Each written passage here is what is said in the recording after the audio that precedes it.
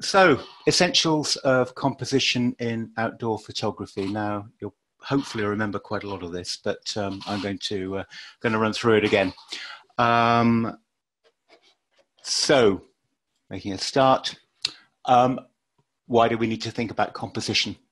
Learn how to make your images catch the eye, draw, draw attention to your subject, and learn how to create what looks right. It's quite ill-defined in that respect, but it's very much about um, making your images stand out, making people look at your work rather than thinking it looks a bit flat. What is it about a picture that people that grabs people's eyes? So hopefully this will uh, give you a few pointers to that. Uh, the picture in the screen there is uh, Man o' War Bay in the Jurassic Coast, you can see that um, effectively the landscape pattern, the landscape shape has drawn your eye into the picture, leading to uh, the sun in, in the background. Um, as I mentioned to you last week, uh, that was very much by chance. I didn't actually plan that. The sun just happened to be exactly in the right place. Um, so what this composition, uh, the, this presentation includes, uh, why do we need to think about it? Um, subject matter is very diverse. There's lots of subjects involved. Uh, so I'm going to run through a few examples of the kind of subjects that you might you might want to be thinking about photographing. Uh, key things about composition: your point of view is number one, and understanding scale, perspective, and the use of your lenses, which I need to change that around because I think as last week I got those the other way around. Um, so perspective and use of your lenses is key and your point of view is precisely where you're holding the camera, whether it's high up, low down, left, right, whatever it is. And the key thing is with many compositions, a little bit of difference in your point of view can make a, a very substantial difference to your, to your picture. Uh, so I'm going to be running through that. Uh, compositional guidelines. Um, key thing is not what they are, it's what they do. So all those compositional guidelines, which you'll be familiar with, uh, rule of thirds, using lead-in lines, using foreground, etc., are very much about what they do and what they aim to achieve. Because if you think about what they aim to achieve rather than what they are, you will tend not to use it for using its sake. You will use it because it achieves a certain effect. So I'm going to be running through on that basis and a few examples uh, at the end. So we're going to go through that as well. Um, I very much like those kind of pictures. The picture in the background there, which is ruined by all the writing, uh, tree, little tree taken in Italy, uh, where it's just a, a, small feature in the landscape, but it really catches the eye because it's it's it's just a very distinct feature with the light on it. So uh, um, so my kind of picture really. Running on to the next slide. Um, so choosing your subject, that particular one is uh, a bay on the Antrim coast in Northern Ireland. If you've not been to Northern Ireland, I know for many people in, in uh, the rest of the UK, it's actually quite, because it involves catching a ferry, it's a bit of a trek, but it's well worth going to the Antrim coast. It's a beautiful part of the world. I'll definitely go back. That was taken over New, over New Year. Uh, so, um, what are our subjects?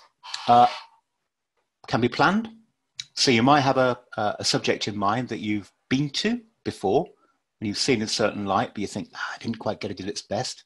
Or you uh, um, chance upon something and you think, I need to get a good picture of that. So, um, planned uh, subjects. Subjects where you think, right, the light's right, I'm going to have a go at photographing it. Um, so, a um, few examples here, one of which is my favorite, one of my favorite views in the Brecon Beacons, Eilean Donan Castle, and a local bluebell wood. Um, so we, we might plan to take pictures. Conversely, they might be spontaneous. You're just out for a walk, out with a camera, out somewhere, got out of the car, past whatever, and you've spotted something which catches your eye. So these tend to be more individual than the planned pictures because the planned pictures would tend to have a subject where the subject matter has caught your eye, uh, whereas these would tend to be ones which happen to be a moment of light, which have come and gone, or, as with the case of the pony, a, a, a certain standing in position. That moment's going to, it's not going to be there when you come back again. So, um, so they tend to be more spontaneous, and I far prefer these kind of pictures to the to the planned ones because they tend to be more individual to me. Whereas anybody, in truth, albeit with different light, can go back to the same spot and effectively replicate what you've uh, uh, what you've what you've previously taken. Um, choosing a subject, well, it may have a clear point of focus or feature. Uh, three pictures there. Uh, one is Battersea Power Station, enhanced very much by the, uh, the, the, the, lights on the cranes, uh, a waterfall in the Brecon Beacons, and, and disused Slate Mill and Snowdonia, one of my favourite spots actually. Um, these tend to be planned on the basis that they are very much in a stiff, definite subject where you know the subject, they've got a very clear reason for being taken. So these tend to be planned pictures, albeit hoping to catch them in the kind of light that you're looking for or the kind of weather conditions that you're looking for. Um, so, um, as I mentioned, clear point of focus or, or feature. Conversely, these would tend to be more spontaneous generic general views which don't have a particular uh, reason for being taken um, um, or particular reason for going there in the first place, but you something that catches your eye, and that usually is light or something that's caught your eye. So these tend to be more spontaneous because they haven't got a distinct reason for being taken in the first place in some ways. So um, yeah, these tend to be more spontaneous. The one at the top right probably not a particularly good example, the one taken at Glencoe, because it is a fantastic backdrop, but certainly the snow and the frost certainly uh, enhance the effect. It's a, it's a, if you've not been to Glencoe, uh, just drive up the A82 in northern Scotland, you can't miss it. It's a, a stunning place. Um, so yeah, these tend to be of more of the spontaneous kind, but of course I'm talking very much gen generalities as well. Um, these, again, in some ways more spontaneous because they are a vignette, a small detail, something that's caught your eye and just meant, made you pick up your camera and take a picture of it. Um, often more telephoto style pictures because they're more detail, more a small element of the landscape, um, which, uh, which has caught your eye. So again, these tend to be more uh, individual, more spontaneous than the planned ones. And generally, most of my favorite pictures are not planned because they're unique to me. They're ones that I've captured, and generally nobody else has got anything like them. So uh, that that that appeal that very much appeals to me, rather than the I'm going to go to a place to take a picture from, plan it to death, and hope to get the right light. Yes, of course, I and many of you have got pictures like that. We all do, but my favourites tend to be far more tend to be the spontaneous ones. So the next um, section in this is got two elements to it. Uh, scale and perspective and the use of your lenses and exploring your point of view. Um, firstly, scale, perspective and use of your lenses, quite revealing this and pro people probably underestimate. Oh, before I go on, uh, just mention what that picture is. Uh, taken in Abruzzo in Italy, uh, where I bought a little place last year. Um, just little, very little. Um, and uh, but it's actually uh, World War II ruins um, where the Germans overran the local village. Uh, but fantastic moment of backlighting, and it's a really atmospheric place. Place called Jessopolina. Um, so moving on. Um, You'll certainly remember this from last week. Uh, four pictures standing um, gradually further away from the arch, but intending to keep the arch roughly the same size in each picture. So starting off with a wide angle, standing close, gradually walking further back, and, and, then zooming in with a telephoto, you can see the effect that the background has on the relationship of the foreground and background, it makes a huge difference to the effect of the picture. Now, this is obviously a theoretical exercise, uh, but you can see that relationship between foreground and background is huge. And when I took this, I was actually quite surprised at the difference in effect as, uh, as well. So, very different if you stand in the same spot and zoom in and out. So effectively, you're getting the same relationship between foreground and background. So that all I've done is brought effectively brought the arch closer to me, I thought that brought the whole picture close to me. I could have cropped, albeit lose lost a lot of resolution, cropped the 18 millimeter one and got to the 175 millimeter one. So it's effectively the same picture. So um, you can see what the difference is. Now, I know this is a theoretical situation, but of course, this has got huge implications on our the effect in real life photography. So, wide angle effect, big expansive foreground, often quite dramatic, um, use very, very strong perspective lines, very good for that. Very good for those big, bold, impressive foregrounds and receding into the distance. But use with caution um, because it's very easy to, when we've got a photo photograph in mind, we often have a potential subject. Um, castle, uh, monument, mountain, whatever it happens to be. And then you think, okay, you need a foreground in front of it but it's very easy to reach for the widest angle lens and forget about that relationship between foreground and background. And effectively, your background is diminished into something very, very insignificant. So it's important to bear in mind the effect you want and that relationship between foreground and, and background you want. Now, if you look at the one on the top right, not a very good picture, but I thought I'd include it because it illustrates a point. Um, the foreground is a rock with a, uh, I think it's heather on it, and the background is the whole of the Mont Blanc Massif. It's a huge mountain range, 20, 30 miles wide. It's massive. But all I've done effectively in using this foreground feature is simply diminishing into into something which which isn't particularly relevant in the shot. So there's no wrong or right about any of this because ultimately it's it's our pictures. We do with them what we want, and that relationship uh, is what we want. But it's important to be aware of it and think, actually, what is the effect I'm trying to achieve with this picture? If it's as the picture at the bottom, the perspective line shot, the one taken at uh, its Penarth Pier in South Wales, then I think the effect's right because it, it, it, it emphasizes that dramatic perspective effect but it can go very wrong as well. We've also seen plenty of pictures of a famous castle with a big impressive foreground, but the castle's become something very insignificant in the background.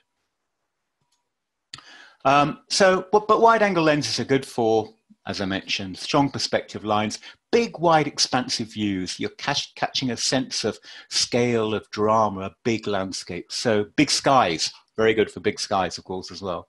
Um, so um, I, I still use them a lot, but that relationship is key to to whether it's not whether it's successful or not, because these pictures with big foregrounds can be very impressive, but it's whether it's what you want or not from your image. Conversely, telephoto lenses, very different, two-dimensional flattening effect, where that relationship between foreground and background is massively different. So taken from a distance, taken from further back, zooming in with a lens of various of various length, and of course, um, uh, you can shoot with a shorter lens, say I don't know, 100, 200 millimeters, and crop, and you'll get the same effect, providing you haven't got any defocusing effect. But effectively, if everything's in focus, you will you can crop a 200 millimeter lens, crop 80% of the picture out, and you'll be equivalent to a 600 millimeter lens. But of course, you'll lose significant resolution. Um, so um, uh, I actually quite a lot of my uh, longer shots when I've wanted a smaller part of the picture are actually cropped images. And generally with a high resolution camera, nobody would really know. But the key thing is if you want that flattening effect, that large foreground in relation sorry, small foreground, I beg your pardon, in relation to large background, then choose a telephoto effect. Very good for um, two-dimensional and, and uh, sometimes abstract images. Um, so other examples of telephoto pictures. So you'll see a very, very clear flattening effect, very two-dimensional, very good for that kind of colored pattern, that sort of thing.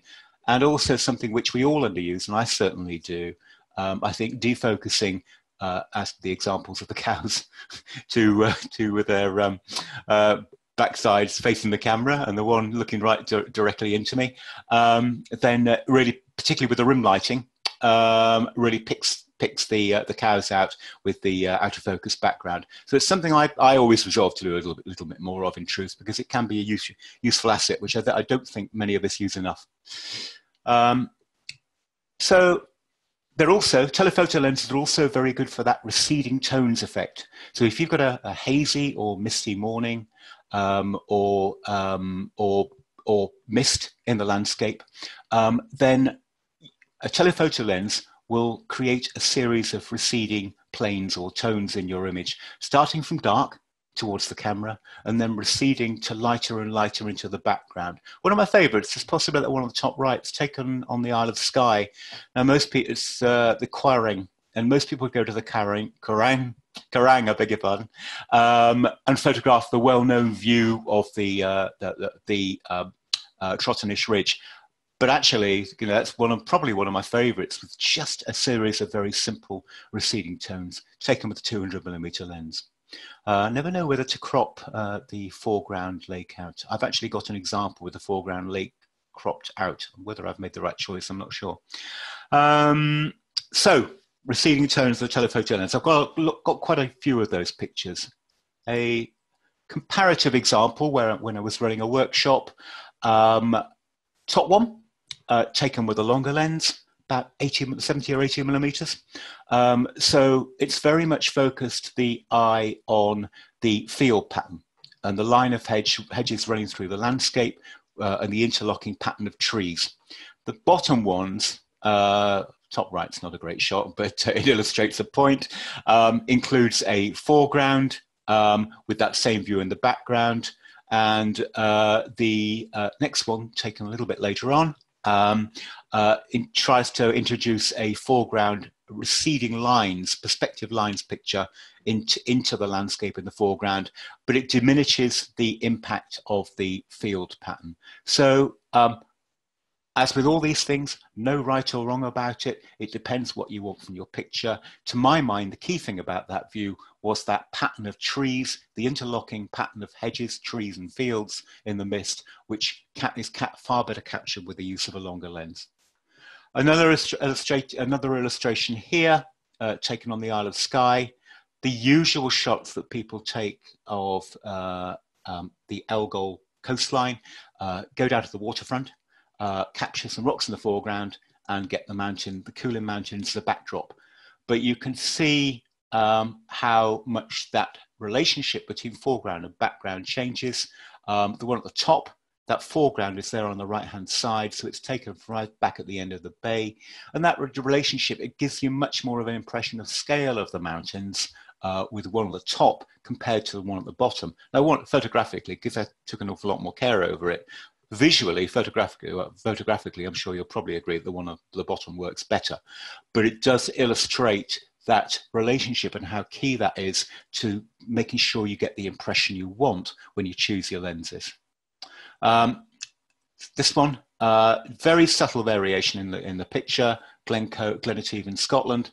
Uh, one taken from a little bit higher up, closer, uh, further away from the waterfall and one taken a little bit further down, getting a bit more impact on the waterfall in the foreground.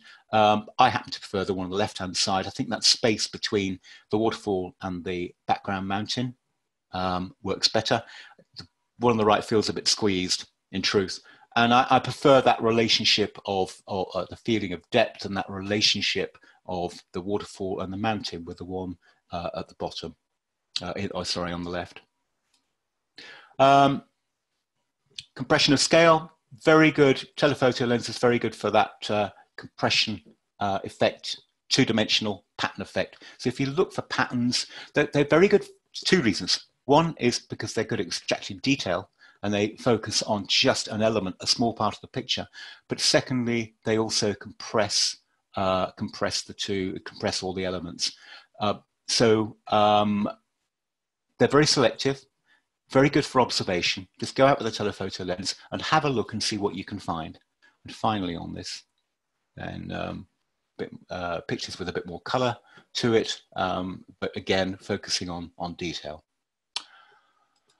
Exploring your point of view is the uh, next section. Um, so, key things, a couple of examples from uh, Glencoe in Scotland. Um, your point of view, it's where you position yourself in relation to your subject uh, or subjects. And the key thing, particularly when using a wide angle lens, that a slight difference in your point of view can make a, that should read make, not name, a big difference to the appearance of your image. Um, however, sometimes, of course, when you've got a distant view and a broad view, it makes little difference, particularly when the foreground is not a key element. Uh, so um, sometimes um, then with the shot on the bottom right, uh, then um, I would need to move an awful long way to make a big difference to the picture. It's very much a, sh a shot looking into the distance. Um, but the key thing is if you've got uh, using a telephoto lens, particularly, sorry, a wide angle lens, particularly with the, um, the foreground um, uh, close to the camera, then, then shifting a point of view can make a very big difference to the effect of your picture. A few examples here, all taken in Snowdonia. One, a distant view, um, looking uh, towards uh, the Snowdon range itself.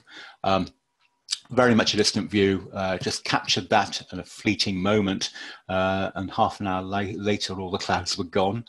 Um, bottom one uh, on the left hand side, uh, when you're close to water, one for visual balance, but two for stillness of water. Get as close to the water as possible. Um, so, again, with that, little bit of difference in your point of view can make quite a big difference. And the same applies to the shot on the bottom right, shot towards Tryfan, uh, where I've positioned the waterfall on the bottom left, Tryfan on the top right, uh, and shifting position will again move that, that shift of uh, that relationship between the two quite significantly. That compositional idea I use quite a lot with a feature in the bottom corner, one on one corner, often the left, admittedly, uh, and a feature on the top right, I use that arrangement quite a lot, and I find it adds a certain dynamism, a certain um, relate, clear relationship between one feature and another. These ones, they're very much snapshots, so uh, don't judge the photographic quality, but it just illustrates the uh, significance of uh, some movement in position. So the top one on the left, uh, I was standing uh, in front of the waterfall with the mountains behind, and then I gradually walked up the hill and kept effectively the waterfall virtually in the center of the frame. So it, it, it changes the relationship between the waterfall in the front and the mountains in the background, where it changes the emphasis into one looking towards the mountains and the others looking down looking down the river so it just illustrates that uh, that change in position a change of emphasis for your picture He's one taken in the, in the Lake District. Uh, make sure your uh, foreground doesn't interfere. Uh, it can be quite easy to introduce a foreground, but forget the fundamental reason why you took the picture in the first place. The reason why I wanted to take that picture was obviously dramatic light coming through dark clouds, lighting up the valley, uh, uh, behind, behind. What you don't want to do is have a foreground which can potentially interfere with that. For that reason, for these kind of shots, I rarely have my foreground lit unless the foreground feature itself is a key element of the picture because it will distract, detract the, uh, the attention and take your eye away from the main reason you took the picture. Um, so the successful one in my mind was the one on the, the bottom, the bottom right. Um, this one just an illustration of the fact that a little bit more thought given the point of view, can make a big difference to the picture. Uh, first one, bit of a snap, uh, canal uh, uh, daffodils on my canal bank on the other side uh, of my village. Um, second two, given a bit more thought. So top right, using a lower viewpoint, getting closer to the daffodils with at wider angle, uh, turns the daffodils very much into bands of color as opposed to individual flowers. So visually a much stronger effect. And the example at the bottom, backlighting, waiting till end of the day until the sun comes into the camera. Um, so uh, very different effect. So all it takes is a little bit more thought given to change snap to something which is actually visually quite strong in very much an everyday scene, really. Other examples, um, one of my one of my favorite shots, some sunflowers in uh, Gower. Um, I chose a range of different examples of these. Now, a lot of them uh, have got, they're okay. They've got the sun in the background, flowers in the foreground, but nothing made them stand out. But the key thing about this one is the three sunflowers in the corner forming a curve. And it is actually another example of where I've used main feature in the bottom on the left and a feature, the sun in this case, drawing the eye to the top on the right. It's the same arrangement as that waterfall one. Um, so it is something I use quite a lot. Um, Uh, so uh, the square format worked quite well, I think. The original one, the three by two format you can see on the top left, not as successful. It doesn't really have that relationship between the sun and the flowers as strongly. So the crop, I think, I think works works better. Again, it's just about about experimenting. Next section is on, as I mentioned, on uh, right at the outset, uh, the essential ingredients of composition. Um, so all of these contain uh, what we know as familiar compositional rules, uh, using lead-in lines, um, using framing, uh, using foreground, using the thirds, these kind of things. But think about what they do, not not what they are, because they're not always appropriate. They're not always going to give the give you the effect that they want, and in fact, they might take away or ruin the effect that you want. So think about what they achieve. So I've defined these in terms of what they do, not what they are. So what they do is draw attention to your subject, create depth, or place a main feature and create space. That's what those compositional guidelines all do in composition. So just reinforcing um, the, uh, the point I was making just a minute ago, and you'll then think about when you might want to use them and when it's best not to. Uh, that picture, by the way, is the cropped version of the one without the lake. And I'm thinking it again. I think I prefer the one with the lake. There you go. Um, so, drawing attention to your subject right at the start. We've all heard of using a, using a focal point.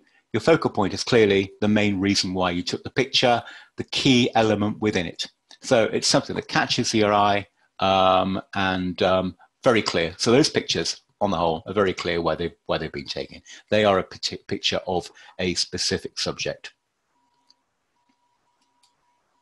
a few more images of the Eilean Donan one though, where, the, where I've used a foreground which has interfered with the subject. So think about how you use the foreground um, and whether it's appropriate or not, whether it adds to the composition or whether it interferes. In this case, I walk close to the, uh, the castle and it's a much clearer, cleaner uh, image. You'll notice that I've also added the, uh, the ones on the left are unprocessed RAW files. So simply done a JPEG conversion of the original RAW file without touching them.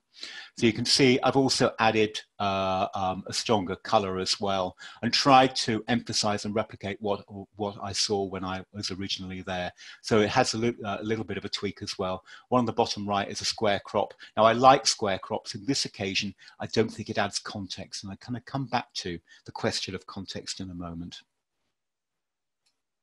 So these uh, images, all taken on the Antrim coast, um, you recognize Giant's Causeway, I hope, on the top, um, are um, very much uh, shots that don't really have a focal point. They are scenic views. They don't have a clear reason, apart from being there, clear focus for the picture. But it's more about, big, more about the light the landscape profile and everything about them. It's, it's, it's something there without having a clear single focal point. So don't feel as though your pictures need to have a focal point because they don't. Um, this is just an example where um, my original shot, taken in Shropshire, um, a place called Hope Bowdler Hill. It's a lovely spot if you've not been there. Um, original shot had a tree in it. And I thought, okay, put a tree in the picture, focal point for the picture but actually the crop version at the top with the tree removed, uh, in my mind, is a much stronger picture because it draws the eye towards the uh, the mist in the fields, the colouring, and the field pattern.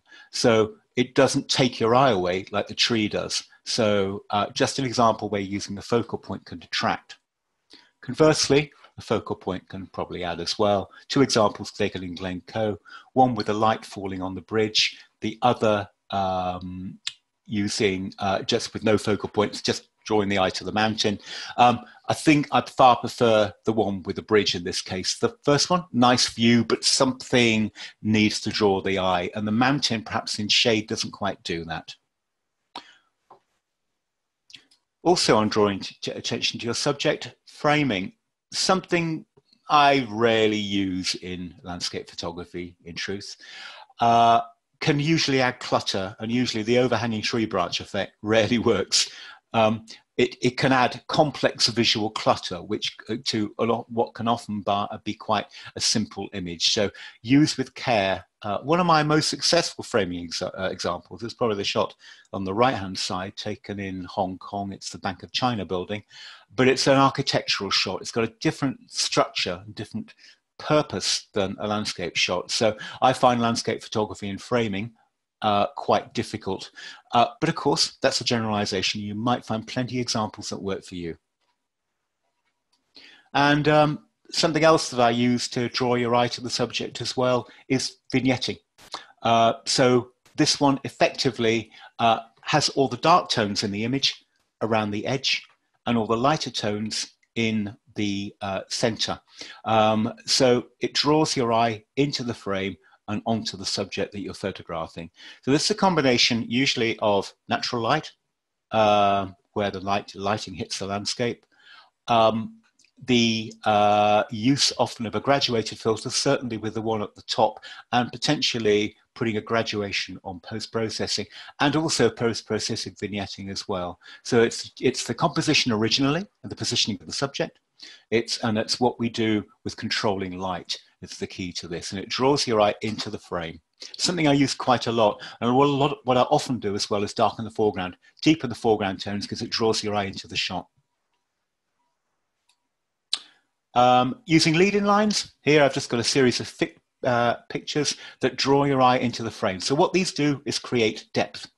So they don't necessarily draw attention to your subject, although they can contribute, but they create depth in the picture by taking your eye through it.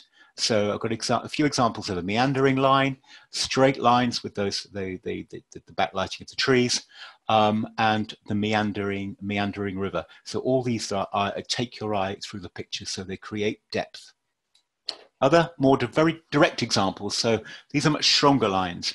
So whether it's Durdle Door or a waterfall or, or a sculpture, all of these, man-made or natural, take your eye into the picture. So again, they, they create depth in the picture, taking your eye, taking your eye through it. We can also create depth by emphasizing foreground. So in my mind, two key things about foreground. One, keep it simple. Um, very strong, very simple. Um, complex, cluttered foregrounds tend to detract. Um, and all what they're doing is effectively is uh, creating a setting for your subject. Take your eye into into the into the frame. Um, so two, uh, three examples here. The height you take the picture from is also key. Um, and I experiment quite a lot with precise positioning. Lower down, higher up, um, just changing the emphasis of the shot a little bit.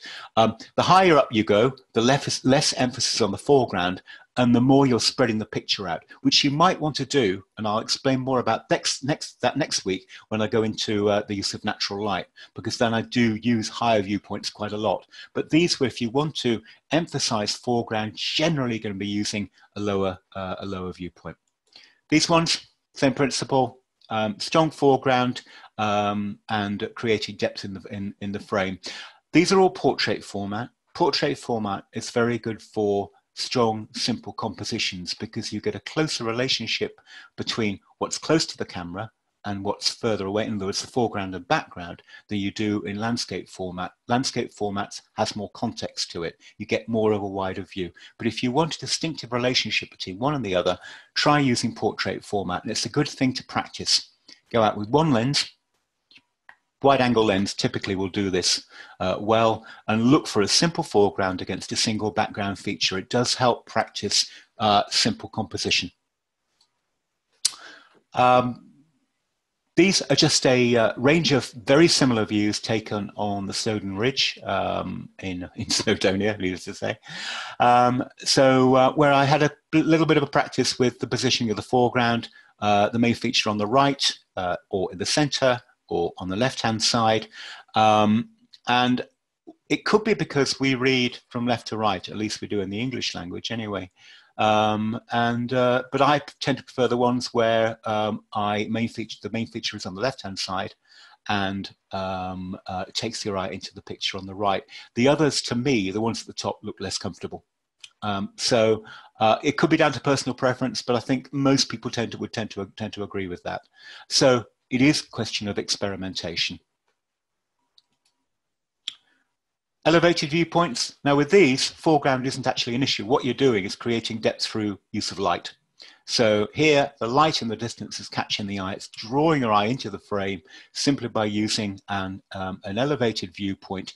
And in these cases, these are just examples where I wouldn't want the light in the foreground because this would instantly take that, that feeling of depth away from the shot. So a lot of my favorite shots are, are of this type, usually shot against the light. Again, it's something I'm going to be talking uh, more about uh, next week. A couple of examples taken at uh, in uh, mid Wales. Um, first one, the whole landscape is lit, so you get an overall impression the eye doesn't really rest on any particular part of the picture. The dam does catch the eye because it's a lighter tone, but apart from that, generally it's an overall effect. The one at the bottom, the light is just on the background. You can see the emphasis is very much on that single hill. It draws your eye into the shot so much more. So no wrong or right about it. And I should emphasize with all of these things, there's never any wrong or right about it, or generally it's the effect that you're aiming to achieve from your picture. Um, Placing a main feature. This is the third key element to me. It's creating space and using a main, placing a main feature. I think we've all heard of the rule of thirds. Um, I don't like to think of it as a rule. It's very much a guideline to use as and when. But effectively, what you're doing with the thirds is creating context. So if you've got a strong single main feature, main subject in your frame, then um, it's where you position it in the frame. Imagine your frame as a uh, the old uh, noughts and crosses board, the game that you had to be useless to, useless, useless to, uh, to lose. Um, I shouldn't have tried saying that. Um, and uh, if you put it in the middle, your eye is drawn straight to it and stops there. If you put it on the third, your eye explores the frame. So effectively, you're using a subject as a starting point, and that starting point creates has got a context, its background. So uh, where you put this subject is quite key to the effect that you want. So these are examples where I've used the thirds. However, I use the center of the frame a lot because if you use the center of the frame, your eye is drawn to the subject and therefore your main subject has more impact in the frame. Um, it doesn't tend to explore the rest of the frame as much. So think about what impact you, uh, you want your main subject to have. Do you want it to have context, em to emphasize rather, context, or do you want to, want to emphasize the subject yourself? And that might determine where you put the main subject in the frame. These examples have used the principle of the thirds, but uh, the subject is closer to the edge of the frame because I wanted to create a feeling of space with all these, whether it's the night sky, whether it's the drama of the sky with a tree, or the feeling of isolation of the bridge, all any one of them, then I've put the main subject much closer to the edge of the frame because that, that's the emphasis I wanted to achieve. The one at the bottom right, I wanted the grey to dominate the picture. If I'd used the um, the grass or the, the, the, the oilseed rape, the yellow, any higher, the yellow would have dominated. And I want the weight of the picture to be on, on, the, on the sky. So again, it comes down to the effect that I wanted from the picture. Um, the shape of the picture, again, um, and whether you're creating space or not, format and cropping. Um, most of our pictures have got a starting point of three by two or four by three, depending on the format of the camera. Um, but think about what you want from your picture and the format which is going to be most suitable for it. So I've got a few examples there, portrait format, uh, square format and panoramic uh, format, uh, which emphasize the effect I want to achieve much more strongly. So all these are either stitched images, the one at the top, or crops of a single image. A couple more examples here where I've got the original 3 by 2s turned into square format. So it changes the emphasis. Now, for a long time, actually, the one at the bottom I used as the, uh, the landscape uh, version 3 by 2 And actually, the square format has actually got, got a, a, a almost a, um, uh, a symmetry about it, which is quite, quite interesting. So I quite like the square one too. Other examples here uh, between um, landscape format and portrait format you can see that the portrait format has that relationship uh, between foreground and background, but doesn't create a feeling of space and context. So think about what's important to your shot. Maybe both are, maybe one is, but think about choosing uh, which you want. And the, the, the, secret is to experiment actually. And I normally I end up taking a wide variety of pictures and then often it isn't until afterwards I think actually that's the wanted. That, that really emphasizes what I wanted to achieve. Um, a shot which I've used a number of times before, but it shows also an original of it. It's not the same original because uh, I lost my original raw file of top one, unfortunately. Uh, but I went back to take it a few years later. You can see the trees have grown up quite a lot. Um, but you can see the surroundings, uh, hillside, farm, lots of other trees, um, effectively detract from the reason I took the picture. So the crop is much simpler, focusing the eye on the backlighting of the trees and the line of the trees running across the frame. Um, so cropping there drew the eye on, on the, the key elements of the picture. Likewise, um, the field pattern and the farm in it is completely lost in the bottom picture. Uh, the top one is just a telephoto shot um, of just a part of the frame, which draws the eye much more towards the, the field pattern than just a generic view. This one's quite interesting, and in fact, the bottom one is a crop of the top one uh, because I didn't take a, a close-up shot, but it's actually got a quite interesting field pattern to it. Just that lit bit. So you've got the wider wider shot there, which I've shown you before, but just that lit area is quite an interesting shot in its own right. Uh, forgot to take it, but um, advantage of having a quite a high resolution camera, you can do things like that. Although I wouldn't want to print print that up too large, to be honest with you. Finally, on this section, uh, just a few uh, shots which uh, don't really comply to any rules, uh, but they are effective simply because um, they uh, the use of light. So these are all taken on the Isle of Skye, uh, one of my favourite places. Um, they wouldn't really, whether you're using foreground, they don't really use the thirds, they don't really use anything in particular, but they just happen to have caught a moment of light. So don't get hung up over over uh, compositional rules um, because ultimately um, think about the effect that you want from your picture. Think about what brings that the uh, uh, brings out that effect, and compose the picture according to what you want from it. What I would say with these, they do, on the whole, on the whole, not totally, contain the highlights in the frame. If you look at most of these, and it's something I only recently observed really, that most of my surroundings are darker, and I try to keep the eye drawn into the picture by holding the highlights within the frame. That's not the case in the one on the bottom right, of course. Uh, so it's not entirely the case, but more often than not, it's what I tend to do. Finally, um, a few case studies.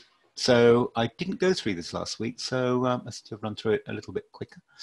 I'll just briefly run through these. Um, these ones taken on Corfe, uh, Corfe Castle um, in uh, Dorset. Uh, just a exploring with a foreground. Top one, not really any thought given to it at all. Bit of a snap, uh, frost on the ground, and then thinking about how can I use find a foreground which draws your eye into the frame and acts as a setting for the uh, a, a, a, base for the picture. And the one I preferred most is where I think the light caught part of the picture but not all of it. So it's particularly the clump of grass in the foreground there. Um, so um, and the, the grasses are structured in a way that draw your eye into, into the frame. Next one, um, taken in the Brecon Beacons. Um, two not very good effects at the top, which don't work at all. You have not to use the leading line. Um, and uh, finally, I, I, got to one where I liked the balance of it. So I've got the light on the on the frosted grass spread throughout the whole of the foreground, so it keeps that idea of using a simple, consistent foreground.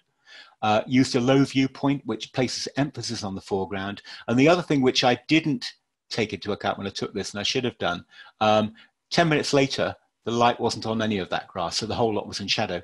10 minutes, sorry, 10 minutes earlier, I beg your pardon, uh, it was all in shadow. 10 minutes later, it was all lit, and of course, very quickly, the, the frost can melt as well. Um, so timing is quite important for this kind of shot because what makes it uh, what makes the grass stand out, of course, is the fact the grass is the grass is lit and everything else is in shadow. So um, timing again is important as well. Um, a few examples taken on the Jurassic Coast. Um, I the square format for me works most strongly. Um, the uh, landform takes your eye into the landscape very well, so I can't take credit for the landscape landform. The one at the bottom, I, have moved shifted position slightly because I wanted the emphasis to be on the, the stars and the sky, but compositionally the foreground doesn't work as well for that reason. So it changes the emphasis of the shot. Few examples taken on um, the Giant's Causeway in County Antrim. Um, so the effect of the shot I prefer is the one, the black and white one on the bottom right hand, bottom left hand side. Um, because I like that tonal effect on the on the causeway. I don't particularly like the composition, however, because I don't like the way that the uh, causeway itself cuts into the cuts into, into the simplicity of the sky and the water, um, which the others I've positioned myself in a place where I've got a base for the picture, draws your eye in.